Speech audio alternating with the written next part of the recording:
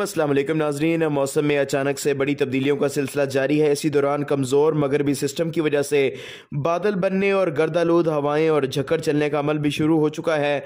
दूसरी जानब, शदीद तरीन गर्मी की लहर के वार जारी हैं, जिसकी वजह से जैकबाबाद, सिब्बी, दादू, लाड़काना, खैरपुर और मलिका इलाकों में दर्जा हरारत पचास डिग्री से तजावज़ कर चुका है।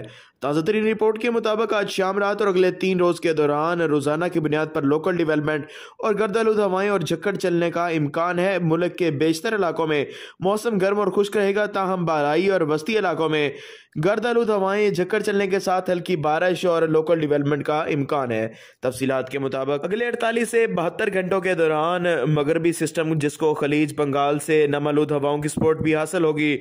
डेरा गाजी खान, फतेहपुर चौकाजम लिया मियावाली भक्कर, खोशाब खिता पटोहा सरगोदा समेत पंजाब के मुख्तलिफ़ बालाई और चंद एक जुनूब मगरबी इलाकों को सुलेमान, सखी सरवर और मलिका इलाकों में कहीं कहीं हल्की बारिश और झक्कर चलने का सबब बनेगा, जबकि पिशावर, चारसदा, करम, कोहाट वजीरस्तान खैबर एजेंसी समेत खैबर पख्तूनखा में भी गर्द गर्दालूद हवाएँ झक्कर चलने और हल्की बारिश का इम्कान है। गिलगित बल्तिस्तान में मौसम खुश्क रहेगा, कश्मीर में कहीं कहीं हल्की बारिश का इम्कान। बलोचिस्तान और सुबह सिंध के तमाम इलाकों में शदीद गर्मी की लहर जारी रहने के साथ साथ मजीद दर्जा हरारत में इजाफे का इम्कान। बाईस से सत्ताईस मई के दौरान एक ताकतवर मगरबी सिलसिला पंजाब, खैबर पख्तूनखा कश्मीर, गिलगत बल्तस्तान, बलोचिस्तान के मुख्तलिफ़ इलाकों और कराची समेत सुबह सिंध में भी बारिशों आदियों का सबब बनेगा। हाजिर होंगे नई रिपोर्ट के साथ। अल्लाह हाफिज़।